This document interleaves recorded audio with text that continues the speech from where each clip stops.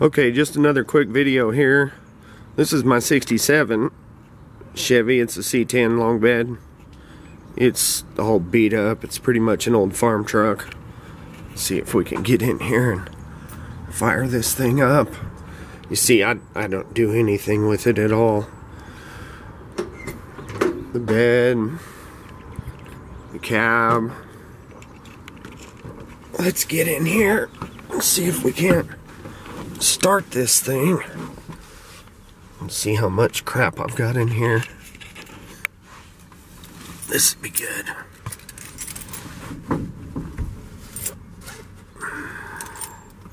Notice my heater controls are all busted.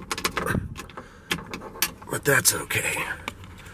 Alright, let's try to fire this thing up.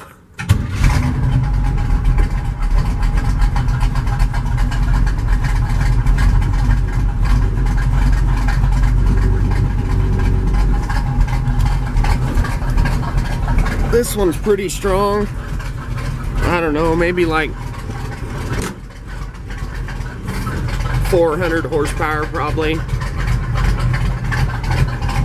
It, it's definitely strong. It runs pretty good.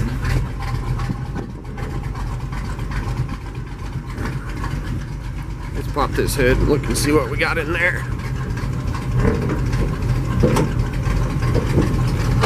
Like I said, it's an old beat up truck.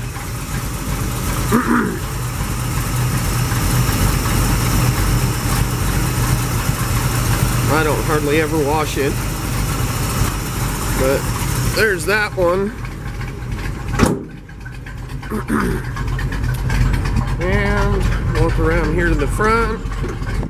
The door. I'm gonna pull some keys out here.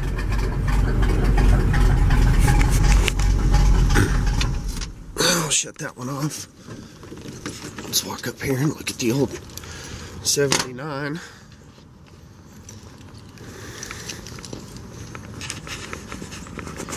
This one is my old 79. It's a it's my trail truck. It's the one I take out. Whenever we go in the woods, I just absolutely love four-wheeling. Let's get in here and see if we can start this one up. This one was a really nice truck when I got it, but you know, if you can't drive them and use them, then they're pretty much worthless. Let's see if we can start this one up here.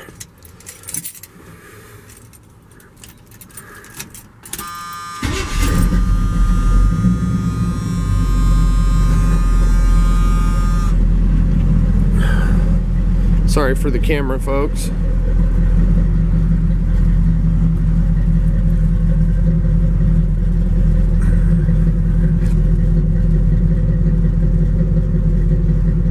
Runs pretty good. On this one, I pretty much pulled the transmission and transfer case out, put a small RV cam in the motor, engine actually, and it had a 203 transfer case in it, and I put a 205 gear to gear transfer case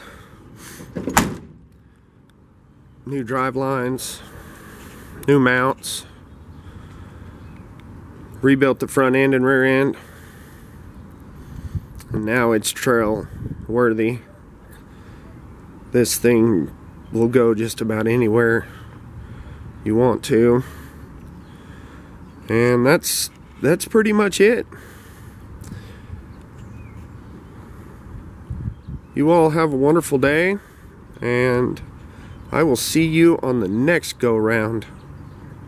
Hit like, subscribe, and all that stuff. Have a good day.